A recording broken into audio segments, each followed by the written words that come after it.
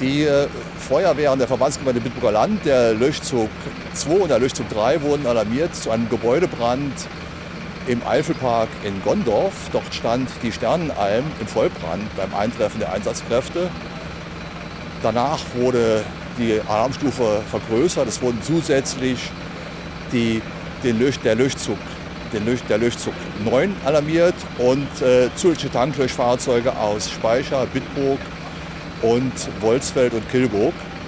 Äh, auch den AB äh, Tank mit 10.000 Liter der Logistikgruppe wurde zusätzlich alarmiert.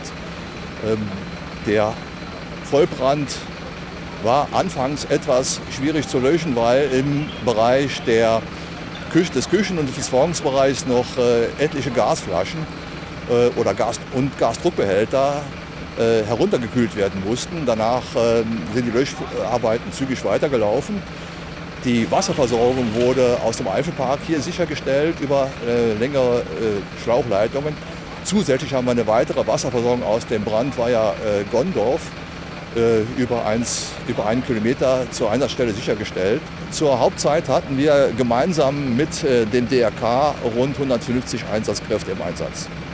Es gab hier äh, beim Einsatz jetzt keine verletzten äh, Einsatzkräfte der Feuerwehr. Der Park hatte keinen Publikumsbetrieb, das heißt es gab nur Beschäftigte im Park. Also wir haben gesehen, dass, es, dass, dass die Halle, ist die, die Festhalle ist eine Festhalle wie, wie wie auch eine Wiesenhalle im kleineren Maßstab, dass die eben komplett im Vollbrand stand. Und äh, dadurch haben wir halt gesehen, dass, äh, dass es halt verschiedene Schwerpunkte gab. Was wir sichern konnten, das ist der äh, rückwärtige Entsorgungsbereich. Ähm, äh, verschiedene Kühlcontainer im, im, Küchenbereich konnten auch noch gesichert werden, äh, sodass einfach nur die Halle im Zentrum betroffen ist.